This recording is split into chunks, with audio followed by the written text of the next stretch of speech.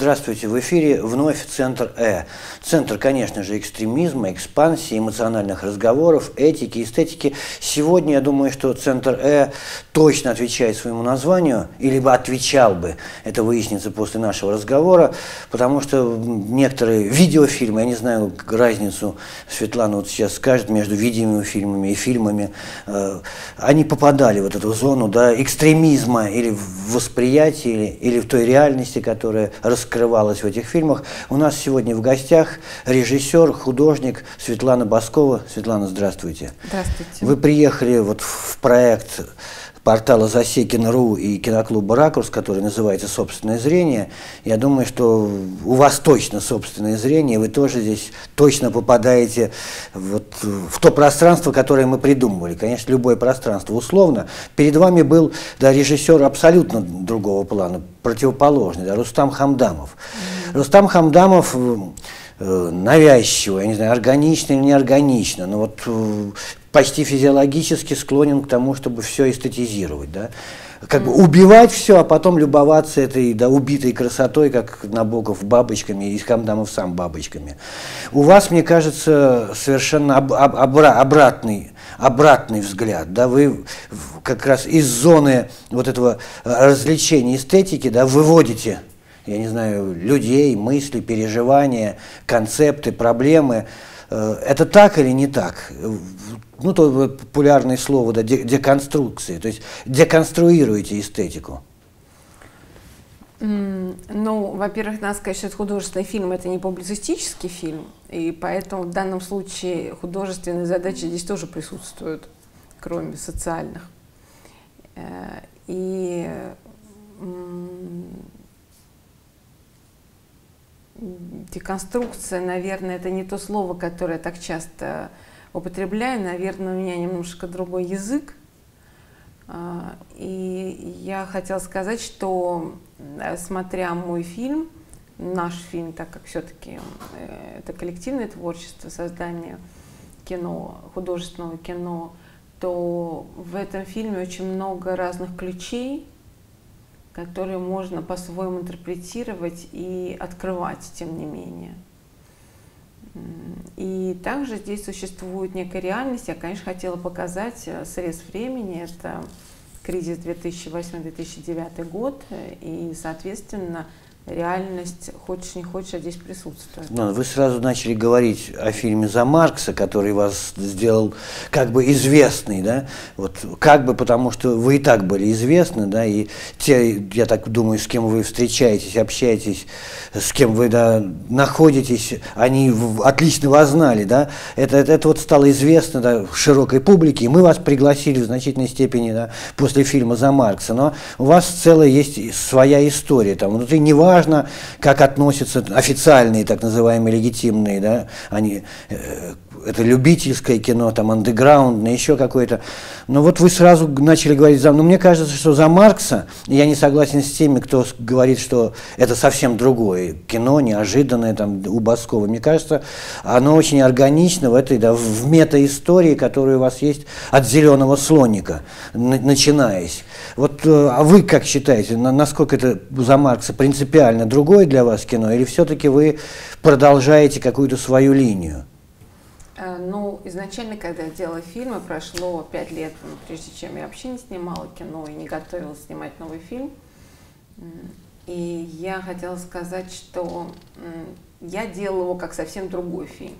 Но, видно, почерк режиссера, он все равно остается. И сейчас уже рефлексирую, когда фильм уже получился, то, конечно, я могу сказать, что какой-то почерк остался. И при этом все мои фильмы, как бы их ни интерпретировали, они все равно были связаны с социальным протестом и вскрытием табуированных зон ранее. А сейчас здесь тоже заложены, кроме открытых социальных моментов, также Э, более скрытой форме заложены более острые моменты, которые стоят сейчас в нашей действительности.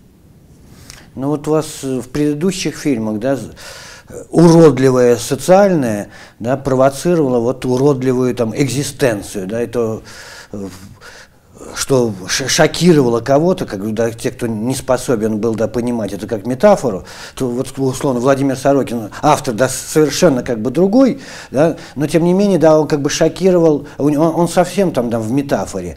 Здесь вот в фильме «За Маркса», может быть, да, при той же органике и развитии, но вот социальность как раз если там да, социальное провоци, провоцировало экзистенциальное, биологическое, и именно уродливое, да, разрушительное, и эта социальность да, была как бы приговором вот для этой природы, то здесь, мне кажется, для вас социальное стало вдруг интереснее экзистенциального, или наоборот, оно как бы его втянуло. Я для себя, mm-hmm. когда смотрел, ну да, есть это символы, да, Юнг и Фрейд. Да. Фрейд это вот да, э, э, эротические проблемы и комплексы, ну, вот именно э, эротического, как бы вне, первично вне социального свойства. И Юнг, который говорит, что в человеке социально еще первичнее, да, и он поглощает это. И Юнг приводил примеры со своими пациентами, которые в бессознательном состоянии воспроизводят не животные эротические, а социальные. Условно говоря, там человек, который был слесарем, да, в бессознательном состоянии, он делает что-то именно как слесарь. Здесь мне Дмитрий Александрович Пригов вспомнился. Вот э, так ли это, так ли я понимаю, вот этот поворот, произошедший в фильме «За Маркса» с вами, а потом мы уже будем говорить да, о реальности, о России в этом фильме. Ну, знаете, я уж не знаю, какая у вас здесь аудитория, видно, суперинтеллектуальная, потому что вы говорите такими словами, и вас, скорее всего, ваша аудитория понимает, что... Ну, а что нам остается делать видно, в Самаре? самарская аудитория достаточно высоко интеллектуализирована, э, что, в общем-то, приятно, потому что я даже не успеваю улавливать ваш, э, ход ваших мыслей. Но как только вы употребили, употребили Фрейда и Юнга, я хочу сказать, что э, очень у многих, по моим наблюдениям, и не только по моим, э, сначала мы возьмем психиатра, э, психотерапевта, психиатров, как только доходит речь до искусства, на этом заканчивается психоанализ. Они не могут продолжать этот диалог. Они не способны это воспринимать. Как только начинаешь говорить с философами и пытаешься не только говорить, а работать да, с философами, э, то тут же упираешься в то, что философ э, не хочет изучать искусство, а как бы он считает, что априори он уже все знает, и это вторично, и он все это чувствует. А, поэтому вот я хотела сказать такое замечание по поводу того восприятия, которое существует, потому что все-таки я настаиваю, что это художественный фильм, и «Зеленый слоник» — это художественный фильм, и «За Маркса» — это художественный фильм. И э, иногда мне приходилось, мне казалось, что люди, которые немного пострадали, пишут мне на сайт различные письма, возмущенные и с угрозами, мне казалось, что я перед ними виновата, так как э, потревожила их психику. Но потом мне стали писать разные люди, что так как на этом фильме «Зеленый слоник» условно говоря, там воспитано несколько поколений, и сейчас он опять э, очень часто скачивается и очень часто цитируется, и с ним происходят различные катаклизмы, которые меня сначала очень пугали. Я хотела забыть об этом, потому что я этого не понимала.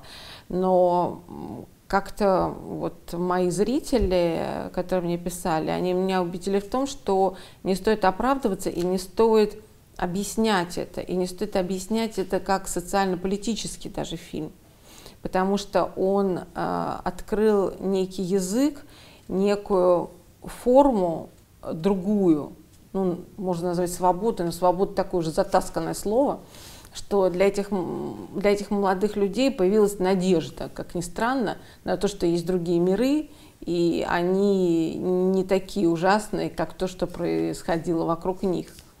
И я надеюсь, что фильм «За Маркса» будет э, продолжением этого, ну, в том числе воспитательного процесса? Ну, я в воспитательную силу искусства не верю, в освобождающую верю.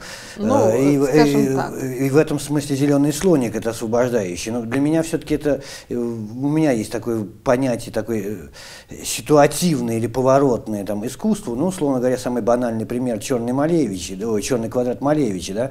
Мы же не будем погружаться в эту черноту, да, но важно, что этим текстом художественным, жестом, да, Малевич что-то закончил и куда-то всех развернул. Но вот это действие, для, для меня и зеленый слоник такой, не собственный, я не буду погружаться. Мне кажется, в этом смысле это вот не такая вещь, что вот туда погружаться и начинать разбирать. Там есть что разобрать, но это прежде всего э, для меня зеленый слоник, это вот все искусство которое было тогда, условно, постсоветское, официозное, фальшивое, лицемерное. Я употребляю слова, я не люблю эти слова, да, такого морализаторского, но других нет. Зеленый слоник показал, что вот, это, вот, вот то, что происходит в зеленом слонике, это гораздо чище, светлее, сентиментальнее, милее, чем вот эта вся ваша вот эта каша, да, которая как бы легитимная, которой можно... Но для меня это некий поворот, повернитесь. Э, и за Маркса тоже поворот, а пусть здесь всего четыре там, да, нецензурных слова звучит из уст самого, я не знаю, отрицательного ли героя, да, и, и финал напоминает, ну и понятно, что, да, Сергей Пахомов.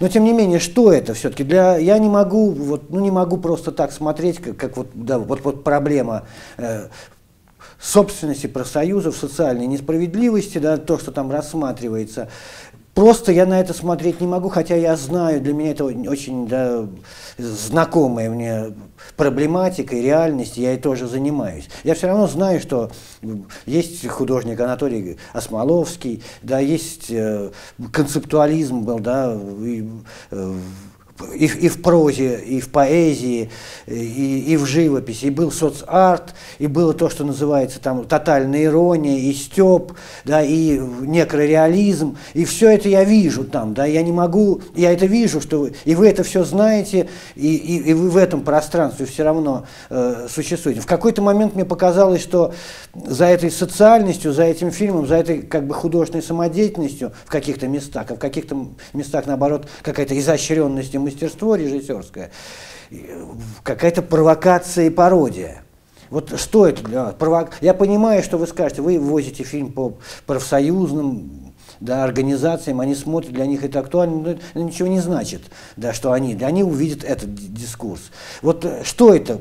Провокация, пародия, какая-то попытка уйти вот от э, вот этого постконцептуального, постмодернистского искусства да, через него же вот, или действительно это попытка нащупать новую тему социальную, да, и, и сделать такой вот социально-художественный жест. Да, здесь нет никакого постмодернизма, и, скорее всего, это борьба с постмодернизмом, потому что хотелось сделать именно социальное кино, и хотелось э, сделать честное абсолютно высказывание без какого-то другого подтекста. И Э, то, что фильм иногда воспринимает, и некоторые говорят, что это фарс, но здесь надо раскрыть тайну восприятия, что почему-то не все это понимают, поэтому приходится объяснять, что он настолько реалистичный, что он передает тот фарс, который есть у нас сейчас. У нас абсолютно фарсовое общество. Потому что если мы посмотрим, что у нас происходит, это трудно ну, это абсурд какой-то, трудно назвать какими-то закономерностями или каким-то естественным развитием каких-то событий. И поэтому эта фарсовость, которая есть в фильме, она абсолютно реально передает, ну, реально мы имеем в виду через образы, но совершенно честно и без каких-либо примеси постмодернизма передает тот фарс нашего общества, который существует. Нет, Поэтому... вот, вот диалоги ваши, даже первые, что да, знаменитые, вы говорите, да, как у вас в Самаре, сложно-то изощренно говорят, да, а понятно, что он как бы цитирует, да, ну, весь этот разговор о Брехте, Голливуде, э, диалоги-то их можно воспринять только вот зная художественный контекст, зная, да, от андеграундного, там, советского искусства до ну, независимого ну, искусства. Понимаете, это вы так воспринимаете человек, который, правда, очень много знает и, может быть, даже больше, чем надо иногда, мне так показалось. Но в данном случае я хотела бы подчеркнуть, что тот диалог, о котором вы говорите, он означает исключительно другое, что взрослый человек, который работает, э, который является ну, одним из лидеров профсоюза, он просто ходит на какие-то киноклубы, где находятся молодые люди, и просто это означает, что он обращает внимание на это. Даже если он это не понимает, он пытается в этом разобраться. То, что абсолютно не свойственно нашим взрослым э, э, культурным деятелям, например. Это, скорее всего, укол туда, потому что очень мало людей заинтересованы в том, чтобы молодежь наша была воспитана, и, ну, мы все знаем, что это проблема с образованием и так далее, и так далее. Но все равно взрослые люди должны абсолютно думать, кто останется после них, и должны интересоваться этими проблемами. Скорее всего, эта сцена также говорит о том, что должен быть э, шаг навстречу и некая диффузия извините, это я стала так же говорить, как вы, да, у вас какой-то сленг такой сложный, типа инженерно-поэтический, я бы так сказала.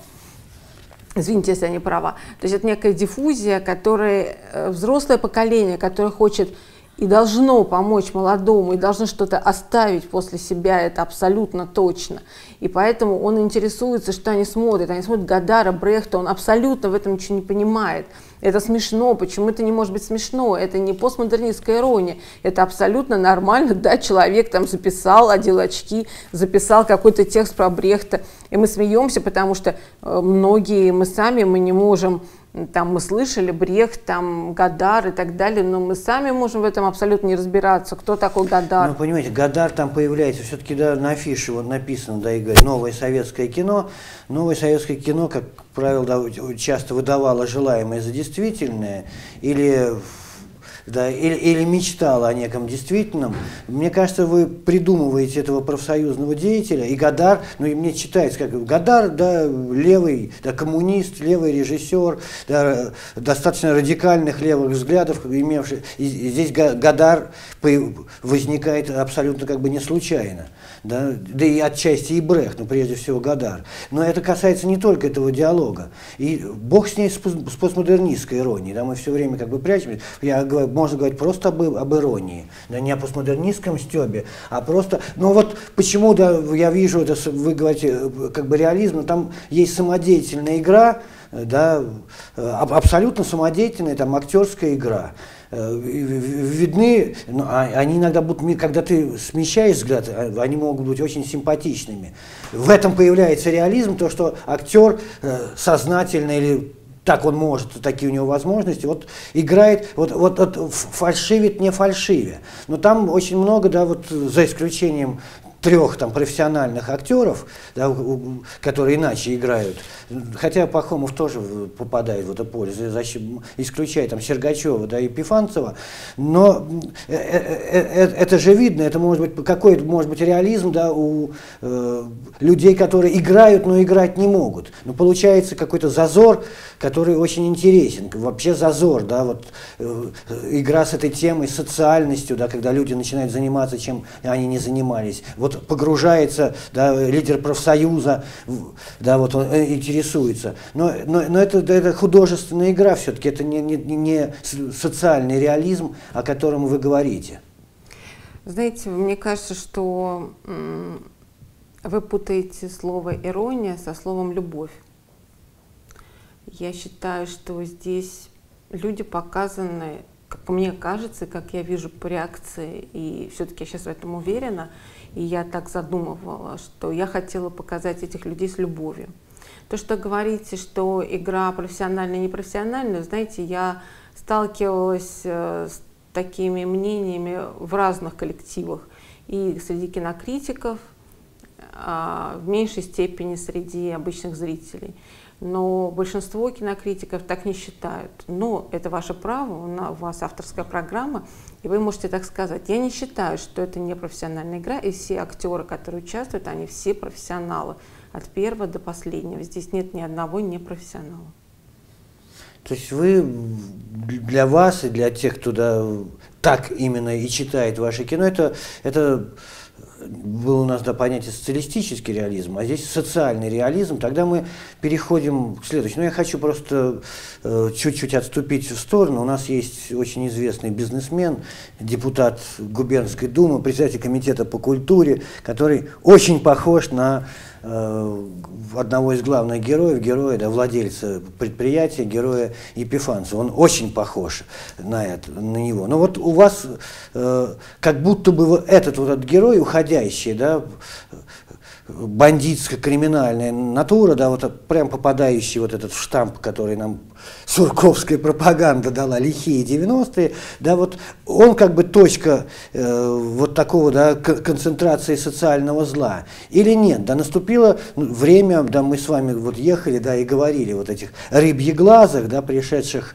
да, в кавычках чекистов, да, вот этих госкорпораций, э, э, у вас там как бы пробуждение какого-то да, начала, да, вот этого поворота, вы считаете, что начинается этот период, и вы вот в эту сторону поворачиваете, здесь есть какой-то социальный выход, или все-таки наступившие времена страшнее, чем те 90-е годы, где все-таки было больше и профсоюзов, и, и социальной, даже классовой борьбы настоящей? Ну, понятно, что вы все-таки э, так поворачиваете события, что вы хотите сказать, что хотите мне подвести к тому, что 90-е были лучше, чем сейчас. Но Я считаю, что... Лучше это не те, конечно, это две чумы, но тем не менее эта болезнь была менее опасной. Знаете, когда мы говорим о профсоюзах, то все-таки это экономические формы борьбы в первую очередь. И, конечно, мы можем говорить о политике, о каких-то крупных вещах и так далее, мы можем говорить об этом. Но, понимаете, когда э, когда на заводе, например, работает человек, и вдруг ему поставили хороший фильтр, то для меня это будет уже э, ну, что-то позитивное. Если человеку увеличили зарплату и стали платить за вредность, это тоже большое событие. И мы сейчас не говорим, что мы хотим революции или мы хотим из периферийного капитализма войти, ну то есть мы хотим из периферийного капитализма войти в европейский капитализм. Э, так получится, если мы повысим зарплату, если мы будем думать о здоровье людей и так далее. Потому что сейчас увеличивают, например, ну я говорю опять о заводах, да, где о, люд, о людях труда, где условия труда абсолютно неприемлемы и где происходят всякие фальсификации для того, чтобы меньше платить. И если мы будем говорить об увеличении пенсионного возраста людей, мужчин, то эти мужчины, которые работают на заводе, они не доживают до этого пенсионного возраста. И эти мертвые души, которые до 65 лет как бы работают, это ну, достаточно трагично. И поэтому, если каким-то образом начинать сравнивать те 90-е годы и те, которые приходят сейчас, э, я не готова их сравнивать, потому что для меня 90-е годы это очень большая травма, это очень большие переживания, потому что все-таки, наверное, мы с вами отличаемся тем, что художник, и я могу сказать про себя лично, очень тонко, очень тонко чувствительный. Не, не, не потому, что это хорошо или плохо, а потому что это так вот есть. И именно кризис заставил вот эту мою чувствительность вот, вот так вот выйти наружу для того, чтобы снять фильм. Это была необходимость снятия фильма, сним, снятия, снимания, съемка фильма, и, скорее всего, не съемка. Сделать фильм – это э, не просто снять кино, это сделать художественное произведение в первую очередь. И чтобы его сделать, э, ты не можешь э, выбрать такое ты будешь снимать кино или другое. Это только один вариант без какого-либо выбора, иначе, у тебя ничего не получится.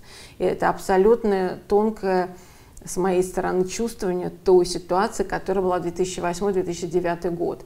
И я вижу, что происходит, я вижу, что там передел какой-то, условно говоря, есть. Да? Я не политик, поэтому я буду говорить очень просто. Но мы также видим, что э, там есть фраза, что люди, и это правда, это из реальности, я живу в Москве и немножко, может быть, больше общаюсь какими-то людьми, которые сами больше общаются с какими-то более состоятельными, богатыми или олигархическими товарищами. Да, даже правда было, в 90-е годы никто уже не ездил на Бентли, э, было принято пересесть уже на какие-то более скромные машины, что и сейчас, в принципе, я не знаю, но то, что человек подъезжает к машине и выходит потом там из метро, если он депутат Государственной Думы, то это вполне сейчас вот э, нормально. Я не знаю, лучше это, чем 90 или нет, но мне кажется, что если нет войны и люди, продолжительность жизни людей увеличивается, то это хорошо, но это не значит, что лучше. То есть вы все-таки да, склоняетесь к тому, что вот этот да, перелом изменения, тогда мы все равно касаемся политического, он, вы да, ну, больше, я не знаю, симпатизируете не то слово, нулевым, да, или вот сейчас уже постнулевые, больше, чем 90-м. Понимаете, во-первых, э, надо говорить о том, что я сейчас уже зрелый человек, я уже отвечаю за себя, и я могу придумать какие-то инициативы, которыми я могу помочь той ситуации, которая существует. В 90-е годы это была такая травма, это был настолько безысходный для многих период, настолько он был травмирован для моего поколения, травматичен для моего поколения и поколения, скорее всего, чуть-чуть старше, чем я, когда люди уже определились, люди уже выбрали профессию и так далее, вдруг переходит перелом этот, и многие смогли перестроиться, многие пошли там на те же заводы, почему там есть люди с высшим образованием, кстати. Но я видела и слышала очень много историй, когда человек не смог перестроиться. И если мы будем обращаться к статистике, к количеству ушедших из жизни людей, то это были катастрофические цифры. Свет, мы как будто говорим, да, мы же не можем, вот когда я говорю про 90-е, да, и, и нынешние, вот это рыбьи глазы, серые, да, рост технологический, у нас так компания, которая владела, да, вот у этих, вот этого жуткого, страшного персонажа, да, и смешного, которого играет Епифанцев, похожего на нашего депутата, да, вот он у вас немножко карикатурный, да, но они как-то зависели от этих... Вы говорите прямо вот как в Москве, понимаете, в чем разница Москвы и периферии? То есть нет, вы наоборот говорите, извините, я перепутала, вы говорите именно как на, ну, в провинциальных городах, извините, угу. можем там потом это как-то подрезать, да а, где в Москве считают, что рабочих вообще нет, и рабочие абсолютно не такие, как показаны, но вот эти вот олигархи, они один в один, один человек просто, который часто общается с олигархами, и ну, очень, ну, по, ну, очень похож вот на нашего, он мог бы вас сыграть, если бы знал, что, как это делать, ну, как не фальшивить. Мы знаем, как это делать, и просто человек поблагодарил за то, что это просто один в один тот человек, с которым он, значит, общается. Поэтому олигарх, в данном случае владелец завода, это абсолютно реалистический персонаж и абсолютно так думающий. Я хотела сказать людям, которые смотрят, да, о вас так думают, что вы быдло, Потому что некоторые люди думают, да, ну о нас там как-то думают, ну вот там кто-то сказал, что мы как бы быдло, но мы не быдло, в общем, как бы вот э, ничего такого нету. Но когда с экрана говорят, что вы быдло, мне кажется, это должно производить некоторое впечатление, и человек должен больше рефлексировать. И вообще в этом фильме есть задача людей как-то направить на то, что они сами должны решать свою судьбу, они должны брать свою судьбу в свои руки. Э, ну, сейчас мы немножко ушли. И поэтому олигарх абсолютно реальный, так же, как и рабочий, абсолютно реальный. Я не вижу здесь ничего придуманного и фарсового. Фарс, и опять хочу повториться, это то, что происходит у нас в реальности. Просто это снято с реальности. Он очень похож, я с этого начал. Тем не менее, как бы карикатурные некие черты в нем есть, они неизбежно вообще, может быть, в искусстве, но я не об этом... Не, не об в искусстве, этом, они, они такие в жизни просто. Не об этом говорил. Мы говорили, да, вот сейчас о, о временах, да, и вы начали говорить о том, да, какие потрясения пережили. Мы же говорим об, об этом десятилетии, которое наступило вот перед этим, да, стираемым, да, в которое, ну, я знаю профсоюз, я не знаю, что они вам говорят, но в профсоюзном движении не только вот такой поступок, который совершил, да, персонаж Сергея Пахомова, да, потом э, искупил да, этот свой поступок. Э, профсоюзное движение в нулевых до известной степени э, стало провокаторским, предательским. Да, оно сдало очень многие позиции. В 90-е годы я знаю просто этих, да, кого действительно уничтожали, кто уехал, умерли. Да, в нулевые годы профсоюзное движение стало коллаборационистским, оно было раздавлено. Они при встречах что-то говорят. Я знаю, как да, их покупают, когда любые выборы. У вас, э, вы показали, да, вот владельца, этого замминистра, а тот рабочий класс, да, который можно, иногда собирает на Поклонной горе, который голосует, он, он, он в этом смысле да, не, не попал да, вот в, в критическое или в какое-то да, вот реалистическое пространство. Ну, э, опять-таки, э, здесь вот два таких момента. Во-первых, рабочий класс на Поклонной горе, что-то я там не припомню. Ну, это условно, знаете, Урал-вагонзавод у нас такой, да, вот есть такой, да, уже шаблон. Потом, э, знаете, насчет профсоюзного движения я с вами не могу согласиться, потому что э, Безусловно, во-первых, это фильм не о профсоюзном движении, это, про, это фильм про, про саму себя, ну, соци... это... Про социальную справедливость, так да сказать. Нет, нет, это вообще про героя, с которым я олицетворю саму, саму себя. Это ну, просто фильм, который вот изнутри, но социальный контекст, он существует вокруг, и поэтому ну, нельзя его не учитывать.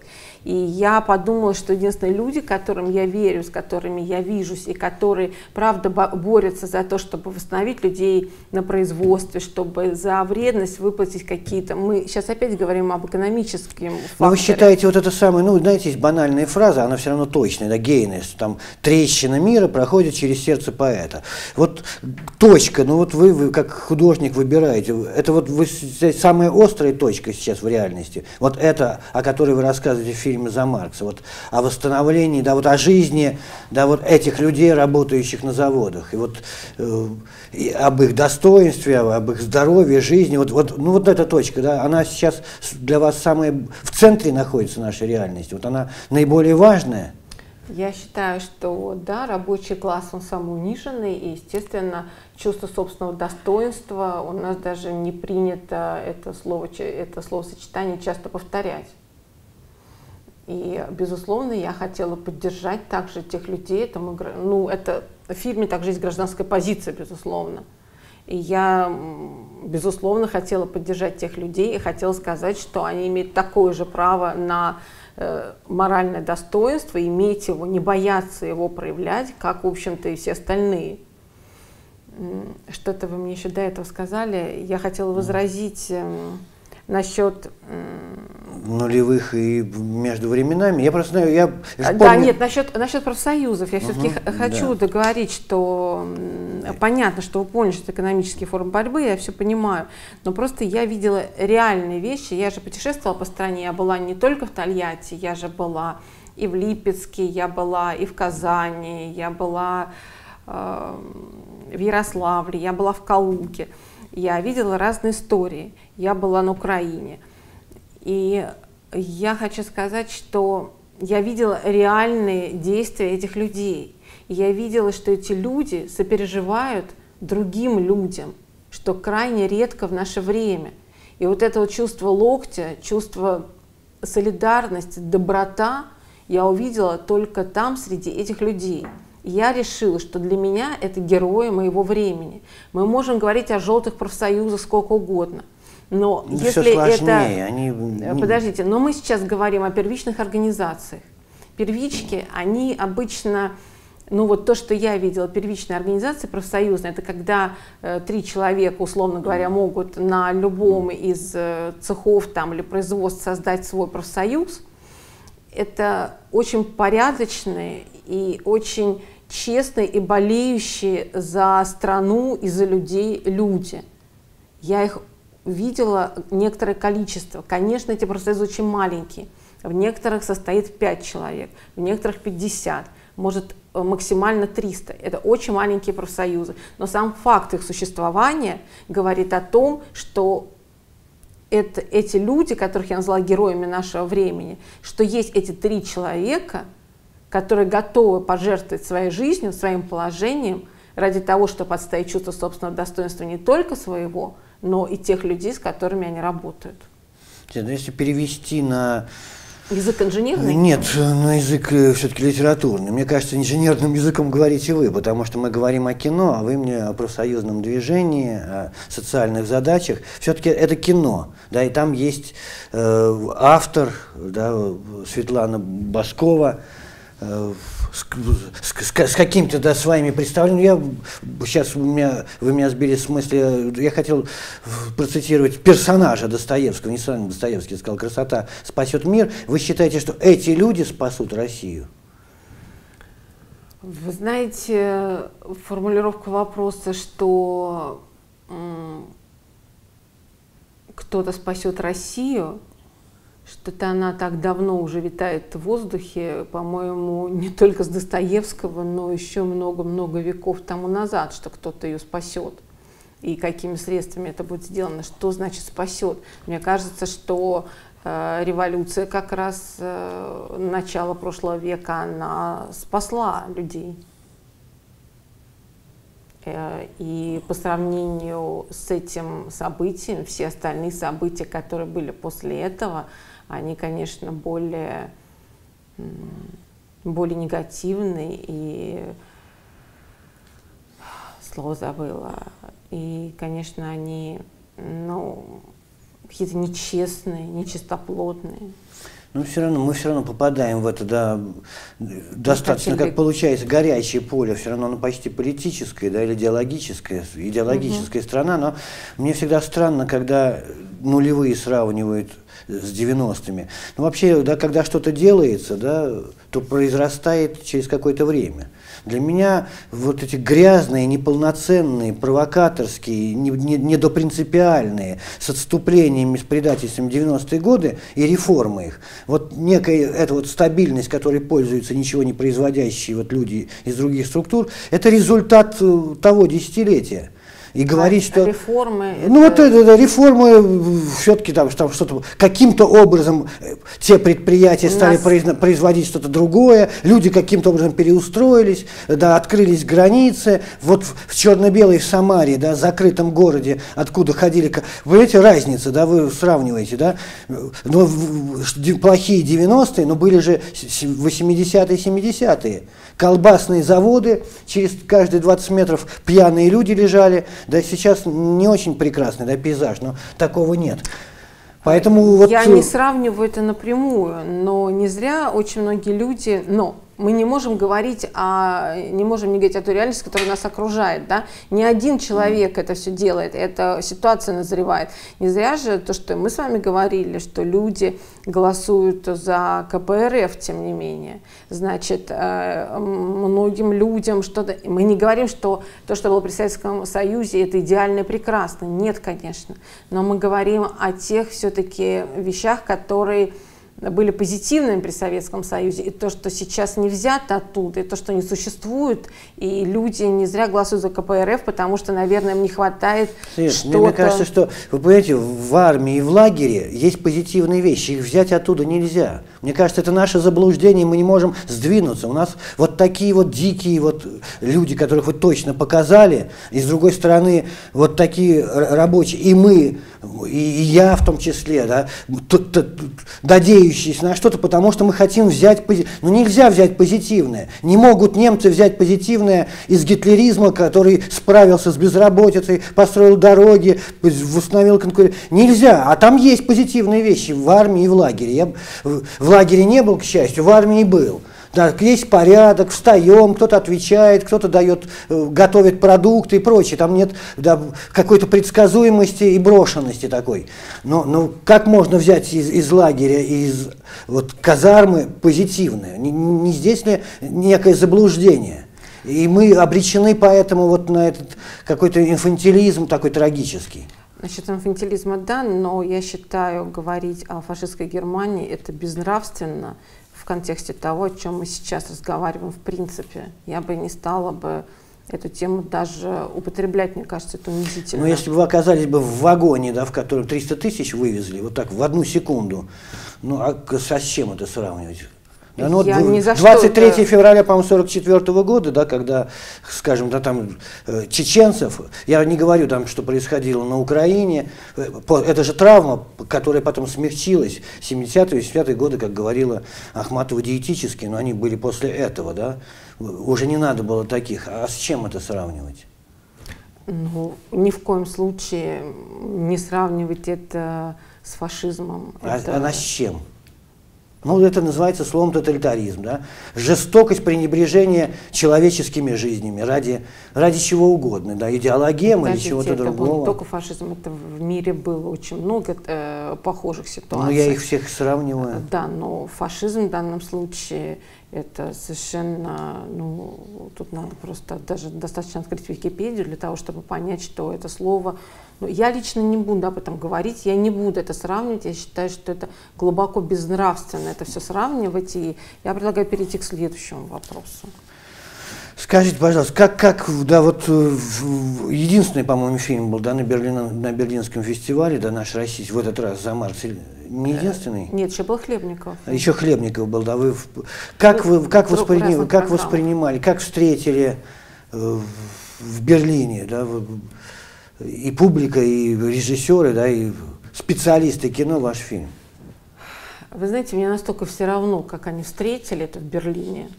Я знаю, что надо работать для того, чтобы был какой-то пиар и чтобы получить деньги на следующий фильм. А в принципе, мне это абсолютно все Нет, равно. Ну, были те, кто Нет, поднимал... я сейчас вам расскажу, ну, просто я сначала свою позицию говорю. Uh-huh. А, фестиваль, правда, принимал а, фильм Хлебникова, он был в конкурсной программе. Я состояла в программе «Форум», Э, форум подразумевает, что твой фильм показывают пять раз, и после каждого показа есть обсуждение, которое с модератором и длится минут 40 в зависимости от той э, возможности этого кинотеатра, который предоставляет. Залы в Берлинале всегда все полные, там люди специально приезжают на этот фестиваль, потому что это фестиваль класса А, Фестиваль класса А означает, что это Канны, Венеция, Берлин. Берлин, значит, он какой-то более социально ориентирован, видно, поэтому туда попали, особенно в программу «Форум», который э, такой полити, э, социально-политически ориентирован. Э, и исходя из того, что залы всегда были полные, там, и так считается, у меня нет практики другой, поэтому я могу предположить, что так как наши залы были все полные, что это просто традиция. Но один зал мне очень понравился, это когда была немецкая публика, мы с немецкими субтитрами показывали, зал был 760 человек, и я сидела внутри этого зала и чувствовала их реакцию, и они реагировали в тех местах, как я и предполагала, ну, закладывая, ну, еще в каких-то неожиданных местах. Но, как вам сказать, мне интереснее 40 человек наших зрителей, чем 760 немцев. Ну, если мы говорим про аудиторию. Потому что я знаю, что я не соберу здесь большую аудиторию. Наш прокат это абсолютно невыгодная никому вещь и не прокатчикам. И то, что говорят люди, что мы столько русских фильмов посмотрели, мы не хотим идти смотреть, мы не хотим смотреть там на этих вот э, страшные, безумные, значит, алко алкоголические рабочие мы не хотим смотреть там на бесконечные менты эти разборки, то, что по телевизору достаточно много показывают, но я просто рассказываю то, что говорят. И поэтому рассчитывать на то, что у нас будет какой-то сногсшибательный прокат, и мы что-то с этого соберем серьезное, на это, конечно, нет расчета. Поэтому я считаю, что мы должны ездить по городам, мы должны любую аудиторию ценить и воспринимать, потому что э, приходят люди, которые, правда, наверное, им эта тема интересна. Ну и, и ездите, да, и уже встречаетесь. А вот скажите, для тех, кому вы показываете кино, я имею в виду люди, да, для которых это вот, их это проблемы вообще, да, не, не какие-то, а вообще они живут об этом и каждый день решают, да, решиться на это, прошу прощения за тавтологию, или испугаться, да, предать, или пойти, поддержать они как воспринимают кино? Как некое действие, да, как вот некий, в этом, в этом смысле это аванг, э, э, до известной степени авангардное кино, которое да, ну, вызывает или призывает к реальному действию. Они это воспринимают как? Ну, понимаете, есть, наверное, три типа аудитории. Это молодежная аудитория, которая приходит, потому что знает предыдущие мои фильмы. И, как ни странно, она очень хорошо на это реагирует. Я раньше пугалась э, реакциях, я не знала, какая она будет. Э, дальше, например, я была в Академгородке в Новосибирске, где были абсолютно молодые люди, которые учатся именно в этом Академгородке, и ну, там разные есть специальности. И также э, я поехала в Тольятти, наверное, был единственный э, показ, где были взрослые мужики с завода, а еще в Питере были взрослые мужики с завода. И, например, женщина, которая сидела, такая активистка она, и такая активная женщина, она говорит, я фильм посмотрела на одном дыхании, вот все как есть, вот, вот, вот все как есть, вот все как у нас. Я была в Калуке, там молодая аудитория. Они говорят, все просто вот, вот, вот как есть и все. Вот тоже. В Иваново я когда была, подошел один парень, сказал, э, то, что конец печальный, этот вопрос стал только в Тольятти и э, в тусовке кургиняновцев, где я была в Питере. Ну, я многим показываю, куда меня зовут.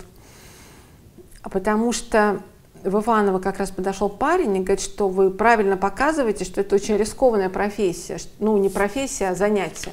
Потому что если вы решили этим заняться, то лучше сначала хорошо подумать, потому что м, понятно, что этих людей прессуют, их вызывают в милицию. Ну, в общем, мы можем предположить, насколько это невыгодно работодателю и государству в том числе. Поэтому э, им показалось, что такая печальная судьба фильма – это просто реальность. Это может быть образ какой-то, но именно это и говорит о реальности, что если бы фильм закончился позитивно, как многие предлагают, что да, там, и дальше у них что-то пошло, и что могло бы быть, и в реальности это могло бы быть, наверное, это не совсем соответствует той действительности, о которой я говорила в этом фильме. Ну и снова, да, уже подходит к концу наша передача. О чем же говорю? Я вдруг увидел, да, в концу фильма, когда несколько крупных планов, да, вот когда началось вот эти э, сомнения, рефлексии, переживания, страх, да, вот главного героя, героя Сергея Пахомова, да, когда он чувствуя, что он да, предаст, он заранее чувствовал, что да, нажми. И вот появились крупные... Мне вспомнился зеленый слоник, но опять-таки не вот в этом, да, Стебова там каком-то ключе, а вот именно в экзистенциальном ключе, что вот э, опять все вернулось к какой-то вот такой к экзистенциальности. Да, я не знаю, для меня сцена, если абсолютно как-то сконцентрироваться на ней. Она мне показалась оптимистической в том, что какие-то были из двух сторон там противостоящие. Вот они кого-то, чего-то они хотят, изображают, да, и в этом смысле социально, я не знаю, психологически уродливые. И, и в, этой, в этой последней сцене и тот отвратительный как бы персонаж, очень похожий, и Сергей Пахомов, они стали ну, равны сами себе, в них проснулось вот это человеческое. В этом смысле, да, социально и прочее все было сбито, и были, да, два уже не молодых, один моложе, да, вот мужчин, да, которые да, оба причем достойно умирают. Я, я увидел э, это. Мне вот хочется спросить, вы продолжаете, да, вы, у вас был перерыв, вы продолжаете снимать. Все-таки это только тема была вот да, этого фильма. Или вот так вот, судя по разговору, я уже не знаю, или вы будете продолжать заниматься, вот я не знаю, вот левосоциальный, профсоюзный, а, а, освобождением труда, как говорили в начале прошлого века? Или будете все-таки делать кино, и кино следующее, может быть, никак не связано, я имею в виду, тематически да, с этим? Да, абсолютно следующее кино не будет связано тематически с социальной проблематикой сегодняшнего дня, она будет более образна, но чем более образный фильм, тем ну, легче показать, легче пойти на риск, показать какие-то социальные проблемы в том числе, или как-то их закамуфлировать, так как они были закамуфлированы в последней сцене, когда они умирали, как вы понимаете. И, конечно, самое главное это было показать героя, потому что мы все предатели, и я не уверена, что э, каждый из нас пошел бы на то, на что э, пошли там, например, другие герои, которые способны э, оставить чувство собственного достоинства своей собственной жизнью, потому что государство нас сейчас поставило власть на одни весы, поставило жизнь или чувство собственного достоинства. Должен что-то выбрать одно. Выбрать невозможно. Я выберу жизнь. И я думаю, что 90%, ну, я не буду говорить про население нашей страны, 90% в Москве, например, так скажем, 99.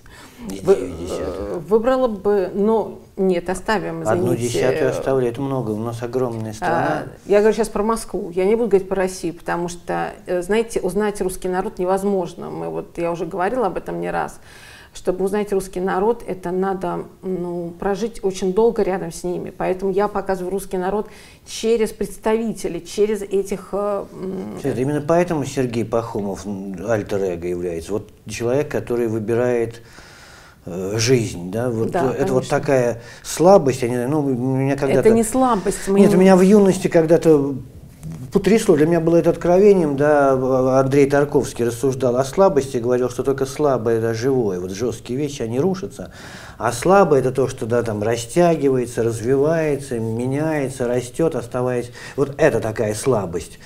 Э, ну, вы неверно я это понимаю. Ну, но он, да, ну, он, он, он предатель, но вот, э, да, он нормальный человек, как многие вот из всех нас, да, я говорю о самой себе, да, мы такие. Но если мы говорим о настоящих людях еще, как мы их, ну, как меня воспитывали, понимаете, мы не можем отрицать то, что меня воспитывали в советское время, и то, что, в общем-то, героизм, то, что человек может броситься там куда-то за ребенком в воду, или там сделать еще какой-то поступок, или война, когда люди шли, зная, что они умирали. Я этих людей уже не вижу. Но среди этих людей я чувствую то, что они способны умереть ради этого. Я вот, когда мы говорили, да, когда делали этот проект, вот, да, фи, звучали первые фигуры, я, честно говоря, как бы боялся, или боял, и хотел, вот, знаете, когда боишься и хочешь, да, чтобы этот испуг сбылся. Э, думая о вас, да, считал, так мне казалось, что вы относитесь э, ну, к, к радикальным режиссерам, к радикальным художникам, да, где вот как раз жест да, разрывает границу, да, с такими людьми э, очень трудно не только в пространстве искусства и, и, и, и в жизни, но, но и это как раз да, вот, разрыв, некий жест. Но вы же как бы да, из этого круга, из этой среды, вот, радикальных не в каком-то там да, искусствоведческом смысле слова, да, а людей, да, способных, если помните, как Кулик кусал по-моему, каких-то шведских там э, туристок, они думали, что это вот авангард, это полюбоваться, да? И вот он объяснял, нет, надо так как-то отвечать будет, больно, холодно и прочее. Вот э, вы, вы принадлежали к такому, да, вот пониманию жизни, или это, это придуманный, и изменились, или, или изначально вы иначе понимали, да, вот э, собственное искусство и себя в искусстве? Ну, вы знаете, изначально задуматься и стать радикалом невозможно, как вы понимаете. Это не какая-то профессия, этому не обучают, и этого захотеть, вдруг это сбылось тоже, в общем-то, тоже не получается. А, если мы говорим про какой-то радикализм, то, наверное, это просто так получается, так я это чувствую, действительность, но я сама для себя не называю это радикализм. Радикализм это, может быть, потом приходит это слово, но оно не стоит никогда передо мной эм, как э, название моей деятельности или еще что-то. И здесь нету, если у художников это более остро поставлено, и это сознательно остро, они идут на провокацию общества, потому что это уличное искусство и русский акционизм, московский акционизм 90-х годов – это, правда, для меня это выдающиеся художники. Это же замечательная прививка была, да, от лицемерия прежде всего. Да, и люди, правда, это были радикальные абсолютно жесты, которые были запланированы радикальными. Кино все-таки немножко отличается от изобразительного искусства, оно более трусовато, что ли, чем визуальное, и чем, вообще, чем искусство, в смысле вот визуальное, или там, в данном случае мы берем акционизм. Э, кино, оно не так долго живет, оно не так... Э, и история-то кино, собственно говоря, чего там всего-навсего там 100 там, лет с чем-то. А искусство такое вот, которое вечное, оно, конечно, сильнее по воздействию, чем любой фильм. Поэтому в данном случае, если мы говорим про акционизм, я считаю, что да, это радикальные перформансы, я абсолютно уважаю этих людей и абсолютно с ними солидарна. Но когда я делаю фильм, я должна быть предельно искренней, честной, иначе, ну, зачем это все делать? А как это потом назовется? Ну, просто, может быть, я чуть меньше боюсь. Ну, то есть, можно сказать, я чуть-чуть меньше боюсь, чем это надо было бы. Центр Эбел, да, следователь Сергей Лейбград говорил явно я не знаю, да, ни, ни, с радикалом, ни с экстремистом. Да, какие-то моменты наши разговоры были болезненные, я очень со многим и во многом не согласен, но это собственное зрение. Вообще у каждого из нас должно быть собственное зрение. Да, и поэтому мы должны быть не виртуальными персонажами, образами и символами, а людьми. В России это очень сложно. Огромное спасибо, что вы приехали в Самару, вам предстоит еще разговор, да, с жителями, да, с гражданами. спасибо, но извините, если я как-то была немножко э, больше настаивала на, своем, на своей позиции, но это естественно, это по-другому нельзя. Это естественно, я думаю, что мы когда-нибудь и где-нибудь, и не только да, вот в фильмах Светланы Басковой, должны развоплощаться, открываться. Спасибо. Да, это спасибо был вам. Центр Э.